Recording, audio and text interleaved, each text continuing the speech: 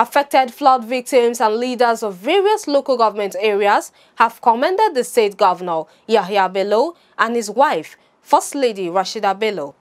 The people made the commendation when the First Lady took relief materials and cash to the IDPs where the affected flood persons stay at Kogi Koton Karfe IDP camps. The leaders and beneficiaries commended the First Lady. From the communities of Ozahi, the community of uh, Ajara, the community of Gokerebe and Pakpazi. They are all here in this Ozi primary school as their camp. I want to say with all emphasis at my command that the people here and us, we are glad and grateful to Her Excellency, the wife of the Executive Governor, who has come with palliatives, gifts, to a kind of cushion the suffering of the people having left their communities as a result of the flood. The flooding effect this year, in fact, it is devastating. I want to appreciate Her Excellency, the First Lady of the of Kogi State, Hajar Rashidat Bello, for her kind gesture in Kogiluko government being affected by the flood victim.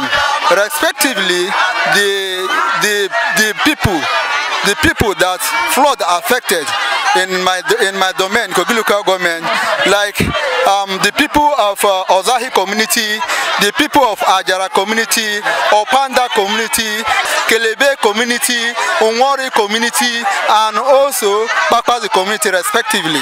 In fact, I am so impressed and I'm so happy for Her Excellency to come to our aid in this particular time. It's the happiest day for this community.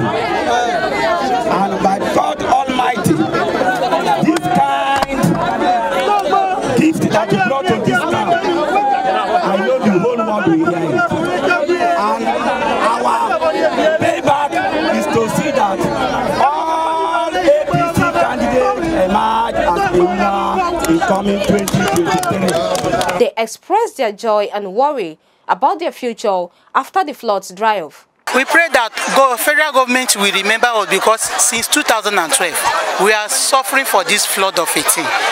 Like my my side, I don't even have home. It take over my shop, my house, everything. Even some of my properties, they it. So they should help us come to our needs because we have suffered a lot. Rashida Bello has promised to continue to do her very best to make life better for them. She called on well-meaning Nigerians to provide for the needy, especially victims of the flood. The First Lady visited IDPs in Adankolo, Kabawa and Ganaja, all in local local government area, among others.